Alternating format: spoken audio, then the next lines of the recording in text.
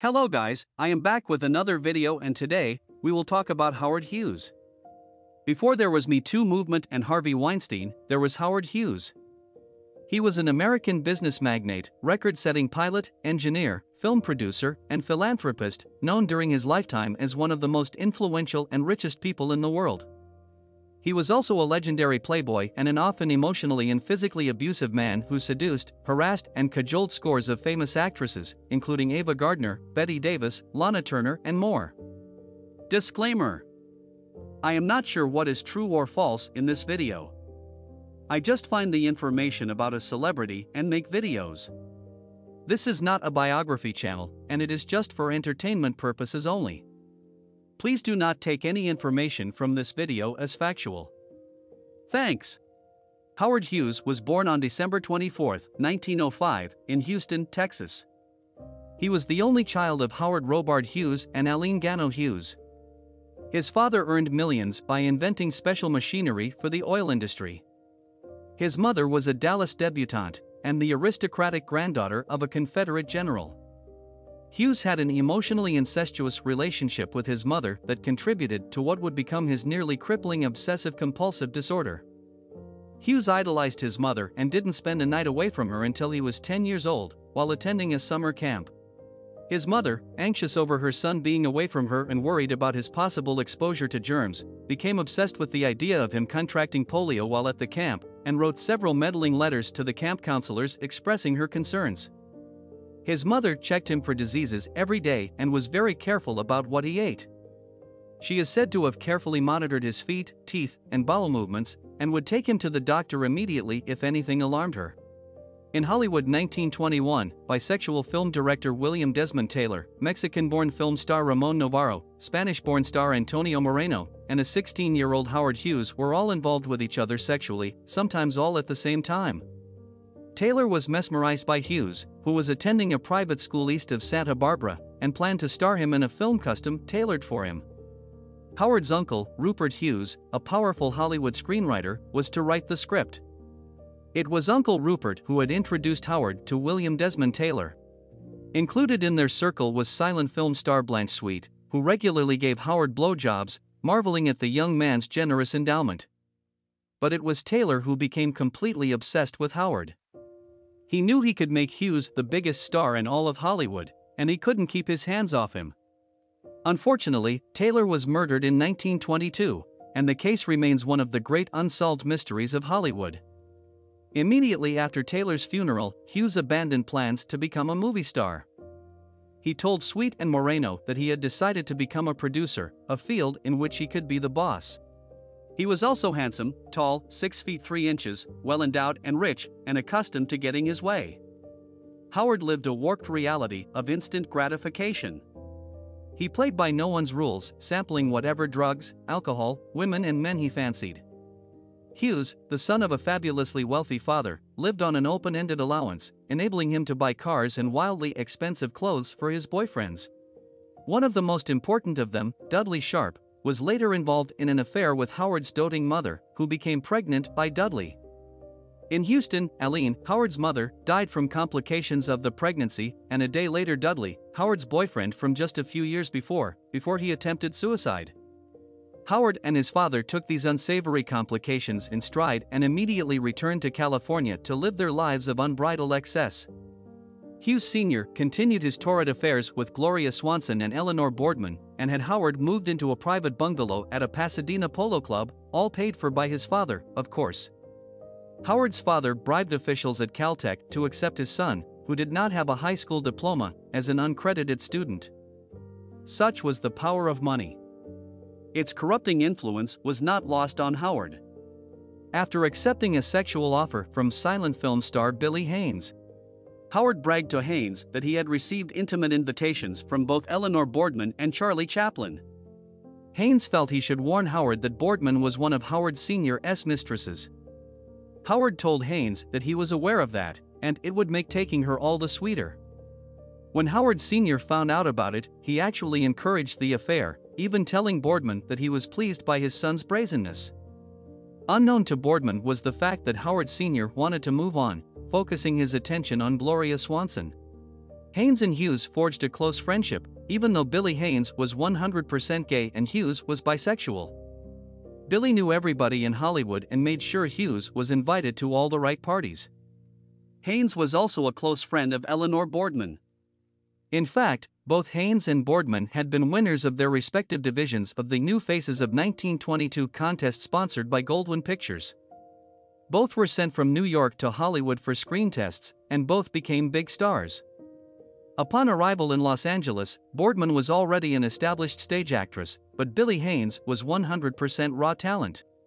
At a New Year's Eve party in Houston, Howard's father had humiliated him in front of other guests after a heated argument about aviation. Hughes Sr. yelled at his son, just like your Uncle Rupert, you're nothing but a queer. Turns out Hughes Sr. knew all about both his son's and brother's sexual dalliances with men. Howard collapsed into tears as his father slammed the door and stormed off. It is important to note that the person into whose arms Howard collapsed was none other than Dudley Sharp, father of his mother's unborn child, as well as being Howard's boyhood lover. For two weeks, Hughes Sr. and his son kept an icy distance from each other. On January 14, 1924, Howard's father died suddenly of an embolism while working in his Houston office. When Howard was approached on the golf course to be told that his father had died, the first thing he did was call the family attorney. He asked the lawyer to read him his father's will. Howard had just turned 18. According to his father's will, Howard had been left with 75% of the Hughes Tool Company, not what Howard had in mind. He badgered his grandparents, aunts, and uncles into selling him their stock so that he would have complete control of the company. He even engaged in homosexual activity with his uncle Rupert in order to have Rupert petition his stubborn parents into selling. This became the norm to Howard, he'd use whatever ammunition it took to accomplish his task, usually in the form of sex combined with lots and lots of cash.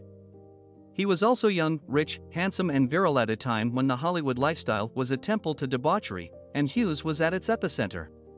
As a schoolboy, Howard had been rebuffed by a young girl named Ella Rice, daughter of the prominent Houston family for whom Rice University is named. When Howard was six years old, Ella had humiliated him by returning his Valentine card. Howard vowed to get even with her someday.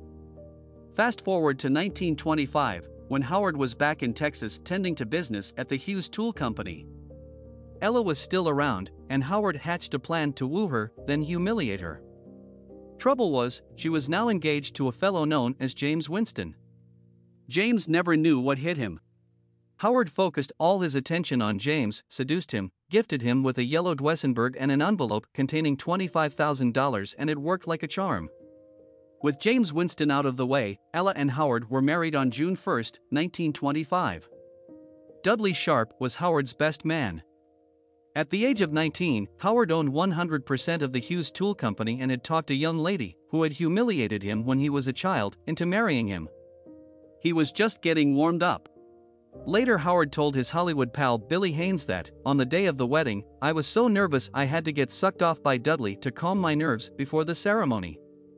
Just after the ceremony, while embracing Dudley in private, Howard said, You should never have let me go through with the ceremony. Ella will never mean as much to me as you do. While on his honeymoon on Long Island, Howard wrote to Dudley, My marriage is a disaster. Ella and I are not sexually compatible. Upon returning to Los Angeles, the first person Hughes called was Billy Haines, who asked, Are you a state old married man now, or can we go out on the town and raise hell? Hughes answered that he was married in name only. Upon checking into the same hotel where his father had bedded countless women, Howard asked to be placed in a suite with separate bedrooms, instead of the honeymoon suite, which had been reserved. Hughes left his newlywed to her own devices and went out with Haines, not returning until 8 o'clock the next morning. Thus began a time of protracted humiliation of Ella. By this time, Hughes was already displaying eccentric traits that would dominate his later years. He seldom shook anyone's hand for fear of germs. He was later to display obsessive compulsive behavior of such exaggerated proportions that it boggles the mind. He was also dealing with a serious loss of hearing. Hughes had a brief affair with Douglas Fairbanks, Jr., who went on to marry Joan Crawford. After their divorce, Miss Crawford forever rebuffed Howard's requests for a date. Said Joan, I adore homosexuals, but not in my bed after midnight. Howard was somewhat alarmed to learn that he had quite the reputation as a bisexual around Hollywood. Hughes formed a Hollywood film production company and scoured the town for star material. He had uncompromising taste in beauty. He didn't care if a person was male or female, Howard just had to have whoever was the handsomest, the most beautiful.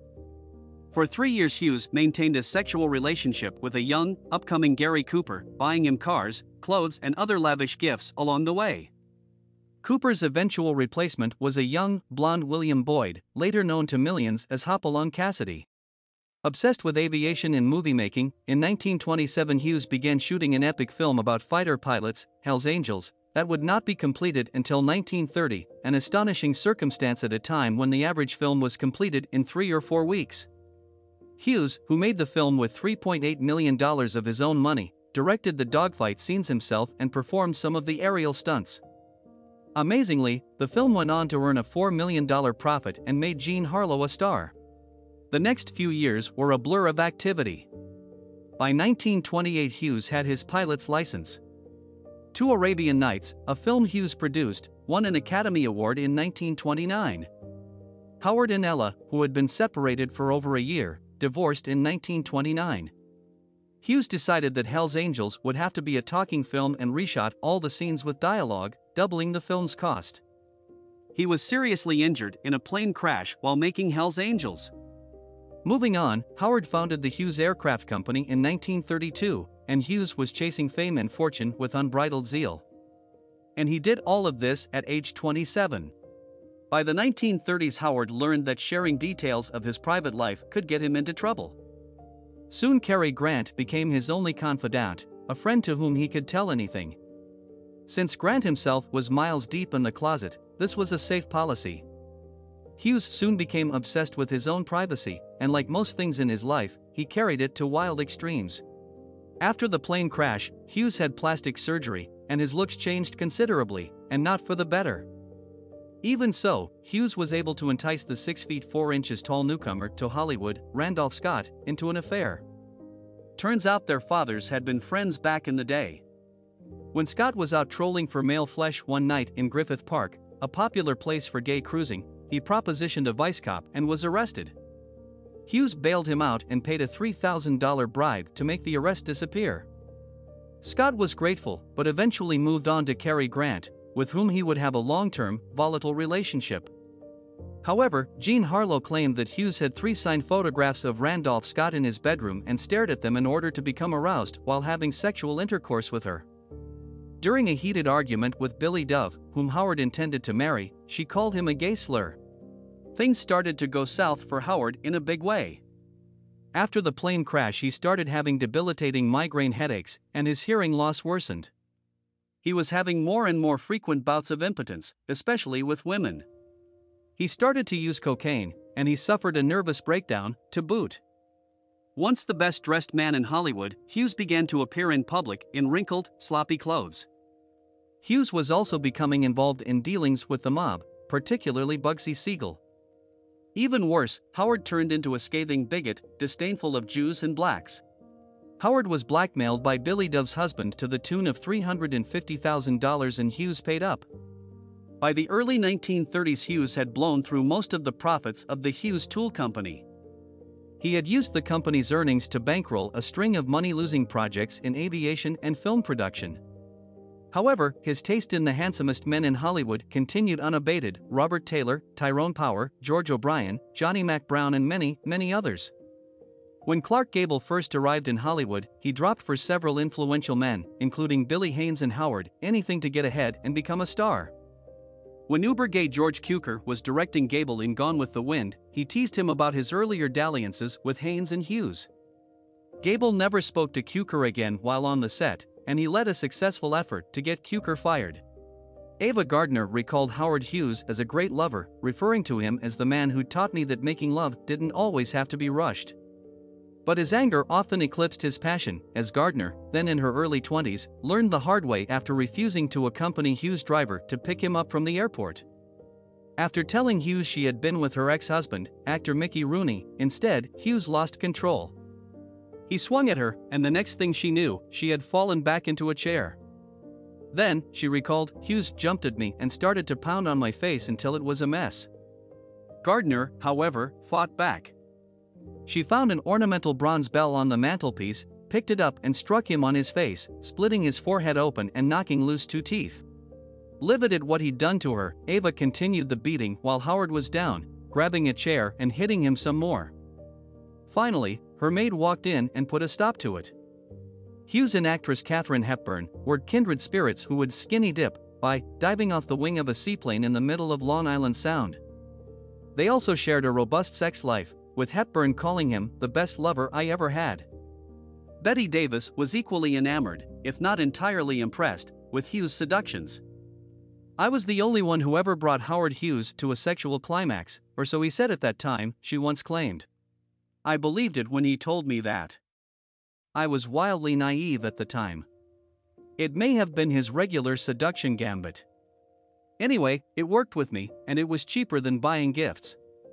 Hughes and Ginger Rogers' on again and off again love affair lasted years, with Hughes gifting her a 5 carat emerald engagement ring in 1940 and telling her he would build her a mansion. Soon, though, he demanded that Rogers be available for him whenever he desired, and she began to suspect he was having her followed and that her phone calls were being surveilled. After Hughes blamed Rogers for a car accident, she wasn't even in, she had refused to accompany him to a dental appointment, and he was so angry about this that he crashed his car, she finally broke it off. Howard wanted to get himself a wife, build her a house, and make her a prisoner in her own home while he did what he pleased, Rogers later wrote. Thank heavens I escaped that. As Hughes got older, his targets became younger, his controlling nature more severe. Hughes was 35 when he met Faith Domergue, then 16 and an actress under contract with Warner Brothers, at a party on his yacht. After taking her out for a private sail, Hughes pursued her relentlessly. While she initially had no interest, he wore her down and proposed marriage three months later, giving her a diamond ring and telling her, You are the child I should have had. In time, his pet's name for her became Little Baby, her loving nickname for him was Father Lover. The pair never married, it turned out, were a primary tool in Hughes' seduction arsenal, but within weeks of his proposal, he purchased her contract from Warner Brothers. Domergue later recalled, I and my emotional and professional destiny were completely in his hands. Hughes scheduled her life so completely, from acting lessons to school tutoring, that he controlled it all. He hired her as a full time driver who was charged with writing down everywhere she went. He also moved her parents into a house around the corner from him, charming and bribing them with his largesse and giving her father and grandfather jobs in his factories. Soon, she no longer had friends, wasn't allowed to drive herself anywhere, was trapped alone. Hughes rarely returned home in a 30 room mansion she found haunted and creepy and had her family completely in Hughes' debt. Hughes, who carried on with Gardner, Turner, and a then teenage Gloria Vanderbilt while still with Domergue, would never marry her or make her a star. He didn't cast her in a movie for years, and since he owned her contract, she couldn't act for anyone else. Whenever she tried to leave him, Hughes would appeal to her mother, who would pressure her into staying. Years later, Domergue wrote an autobiography that was never published. Whenever he saw a picture of a pretty teenage actress, he sought to get her under contract and under his full control right away, installing them in his apartments, scheduling every moment of their lives, and hiring each a personal driver who was also his spy. He would then leave very specific demands for how these women were to be handled, some of which revealed odd sexual proclivities. Hughes was one of the world's consummate breast men, and he was convinced that women's breasts would sag dangerously unless treated gently and supported at all times. Stories of Hughes' pursuits are a litany of creep, including that of actress Terry Moore when he was 43 and she was 19. As she wouldn't sleep with him until they were married, Hughes married her on a boat but did so in international waters. Records of the wedding mysteriously disappeared after the ceremony, and the dispute over whether they were ever really married led to a years long legal battle after his death. When Hughes saw a picture of 23 year old Italian beauty Gina Lollobrigida in 1950, his representatives offered plane tickets for her and her husband to fly to LA to meet Hughes but sent only one ticket. When she arrived in LA, believing it to be the beginning of a career in Hollywood, she was provided a hotel room with guards outside her door. Unless accompanied by Howard, she wasn't allowed to leave the room, and Hughes had arranged with the front desk to block her phone calls. When Lollobrigida finally had the chance to talk business with Hughes after a month and a half as a virtual captive, he tried to persuade her to divorce her husband and marry him. She demanded a plane ticket home, but before she left, Hughes insisted on throwing her a goodbye party. He once persuaded a drunken Lollobrigida to sign a contract. While she went on to become a major star in Europe, her fame did not immediately cross the ocean because, due to the contract she had signed, she was forbidden for years from working in America for anyone but Hughes. Given his behavior, she refused to work with him. Hughes, famously reclusive and mentally ill in his later years, died in 1976 at age 70. By the end of Hughes' life, when he was a codeine addict who spent his days and nights nodding in front of the TV, the former star aviator Playboy would suddenly perk up when an actress he had once spent time with appeared on the screen. Hughes would allegedly call over one of his many aides, point and say, Remember her, and then drift off into a grinning daydream of better days, days when his power to draw women to him and control not just their emotions but their movements, appearances, and identities was apparently limitless. Howard's attention drifted away from making films to the field of aviation. He became more and more eccentric. For example, all he would eat was rare steak and peas, and he started buying his clothes from thrift stores. He became hopelessly paranoid and insanely jealous of anyone who threatened to topple him from the mountaintop. Hughes went on to design and manufacture aircraft and forever changed the face of Las Vegas. However, his life from this point was a sad lapse into mental illness, self destruction, and bizarre behavior, much of it too unsavory to relate. A second plane crash in 1946 left him scarred and addicted to morphine. He ran RKO Pictures into the ground and did much the same with Trans World Airlines. He later fled to the Bahamas and Mexico to have easier access to codeine, which he personally injected into his arms. He also suffered the effects of tertiary syphilis. His legacy was that of the world's most eccentric billionaire, and today only his medical research institute carries his banner in a positive light. Because of his wealth and power, his homosexual proclivities were not well known to the public during his lifetime.